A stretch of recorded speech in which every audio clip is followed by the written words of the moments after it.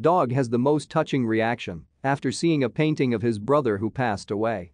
Dogs are intelligent, loyal, and nurturing animals. It's no wonder why they've always been our constant companions, mainly because of these qualities.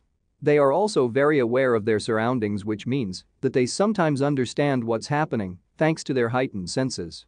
They are also emotionally intelligent creatures that can sense our moods and emotions. They would know if we're feeling happy or sad and sometimes they would share in our emotions. But if you've ever wondered, how do dogs process the death of a loved one? Do they even have the concept of death or they just think that their beloved companion who passed away just went outside and could come back anytime? We've heard some stories about dogs who waited for their owners to come back, but what about a doggy sibling who just passed? They've probably grown up together, played, ate, and bathed together. But when one passes, it can be quite devastating for the one that was left behind. In fact, animals mourn just like us.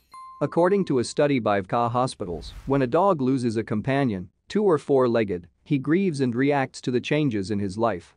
Dogs alter their behavior when they mourn much like people do. They may become depressed and listless. They may have a decreased appetite and decline to play. They may sleep more than usual and move more slowly, sulking around.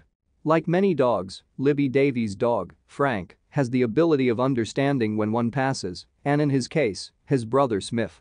Smiff passed away a few months ago, and his family was devastated, especially Frank. To honor her beloved dog, Libby decided to commission a painting of Smiff that she could hang in her house. The painting was done by artist Tina Muir, and she was able to create an amazing lifelike portrait of Smiff. She perfectly captured Smiff's likeness that when Libby hanged the picture on her wall, Frank instantly recognized him.